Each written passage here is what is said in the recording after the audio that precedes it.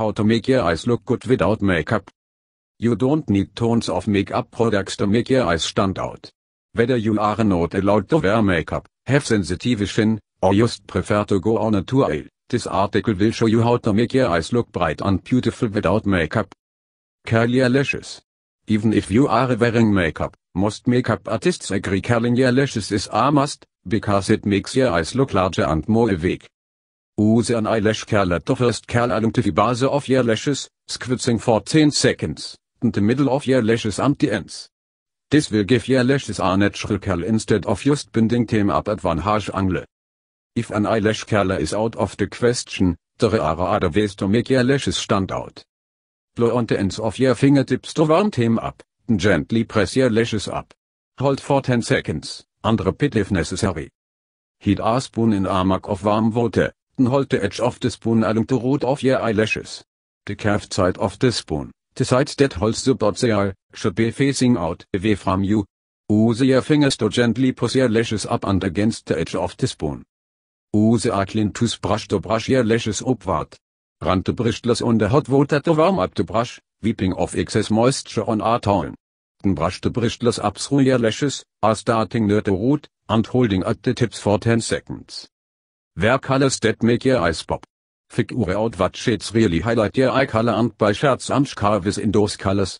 Think about what color you are wearing when people compliment your eyes, or try holding up a bunch of different colored fabrics to your eyes and have a friend tell you which ones look best. Blue eyes should start out with black and different shades of blue. Darker blues will make your eyes look a deeper blue, lighter blues will lighten, purple, pinks, and light green. Brown eyes should start with oranges and red, or combinations like peach, shades of light brown, bold blues, lavender, gold, and moss green. Green eyes should try on shade of purple or green, black, navy, pale yellow, and deep browns. Hazel eyes should try black, navy, and other dark neutrals, orange, burgundy, and lavender. Keep your eyebrows on point. Your eyebrows frame your face and bring balance to your features. Stick with a strong, natural looking brow over over it, pencils and lines. If you can have a professional salon shape your brows they will give you a template for how they should look and you can do maintenance without waste. Avoid waxing your brows, as the process damages the extremely sensitive skin around your eyes. Try plucking or threading instead. If you aren't allowed to tweak your eyebrows, use a toothbrush to brush the hairs upwards slightly. This trick will make your eyes look bigger. Use eye drops if your eyes are bloodshot or tired looking. A few squirts from hydrating eye drops or eye drops made to relieve redness will make your eyes look clear and awake. You can also use eye drops to depuff the skin around your eyes just stop the liquid on the skin around your eyes. Get a good night's sleep to minimize the puffiness and dark circles. The skin around your eyes is extra thin, which means it is extremely sensitive and will shoot the effects of a sleepless night. Lack of sleep can affect your circulatory system, making the blood vessels more visible through the paper thin skin under your eyes. Sleep with your head propped up on two pillows, allowing the skin under your eyes to drain while you sleep and prevent puffiness. Dark circles can also result from allergies, genetics, or bone structure. To lessen puffiness, try sleeping propped up on two pillows which can help drain excess fluid from your face overnight. Massage the shin around your eyes to encourage drainage and reduce puffiness. Swollen looking eyes are usually a result of excess fluid under the eyes. Gently massaging the shin around your eyes can help move the fluid out of your face and into larger lymph nodes where it can be processed efficiently. Gently tap and massage the shin around your eyes, using your ring finger. This is the weakest finger and will make sure you don't press or pull too hard. Work your way around your eye in a circle, starting at the outside corner, going down under your eye, and then over along the brow bone.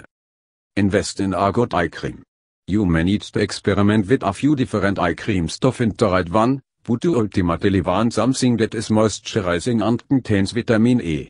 Beware of eye creams that are too greasy, or waxy, as these can trap chin cells and lead to tiny white bumps, or milia, around your eyes. Look for creams that depuff your chin, caffeine can help reduce puffiness, or contain gentle exfoliants. Older women should look for creams that reduce wrinkles and firm the around your eyes, which can begin to droop as you age. A cream that plumps the chin can help the area around your eyes look youthful. Take it easy on the salt. added high in salt, MSG, alcohol, or artificial sweetness can damage the skin around your eyes or cause excessive puffiness. Too much salt can cause your body to retain water and appear bloated. Because the skin around your eyes is so delicate, this puffiness will be even more apparent around your eyes. Cut back on your salt intake to reduce puffiness, especially the day before a special event. Beim Partition around your eyes with household remedies. It's easy to depuff and treat the delicate skin around your eyes with items you can find in your kitchen.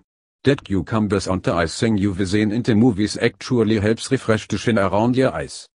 Either place two slices of chilled cucumber on your lids, or try plunging your face in a bowl of ice cubes and cucumber slices to brighten and depuff your eyes. Try steeping two bags of black tea and, after allowing them to cool, place them over your eyes to reduce puffiness.